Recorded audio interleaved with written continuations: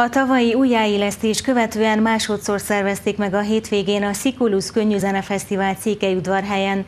Eredetileg 1970 és 1973 között élt a fesztivál, míg a kommunista hatalom be nem tiltotta.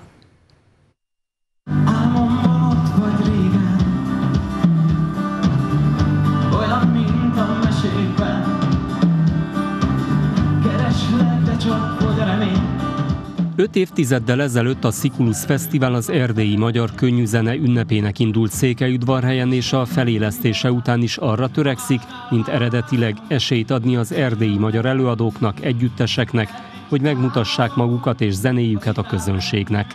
Egykori zenészként a megnyitón felszólaló Antal Lóránc szenátor a színpadi jelentőségéről beszélt, ugyanakkor kiemelte, hogy milyen fontos színfolt ez a fesztivál Székelyudvarhely főterén, ahol más jellegű megemlékezések, ünnepségek szoktak zajlani.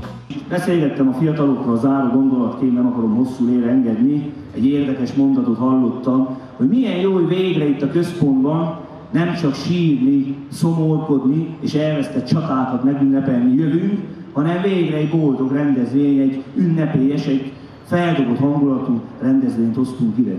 A fesztiválnak zenei fontossága mellett politikai üzenete is van, mondta Bíró Barna Botont Hargita megye tanácsának az alelnöke, jelezve, hogy az egykori hatalom tudta, hogy miért tiltotta be 1973 után a fesztivált. És most is miénk itt a tér, de ahhoz, hogy ezt 50-100 év múlva is el tudják mondani, itt a Patkóban, Székelyudvarhelyen, ott ma nekünk feladatunk és felelősségünk van. A szakemberekből álló zsűri döntése értelmében a Sepsi Szentgyörgyi Térerő Együttes lett a Sikulus Fesztivál nagydíjasa.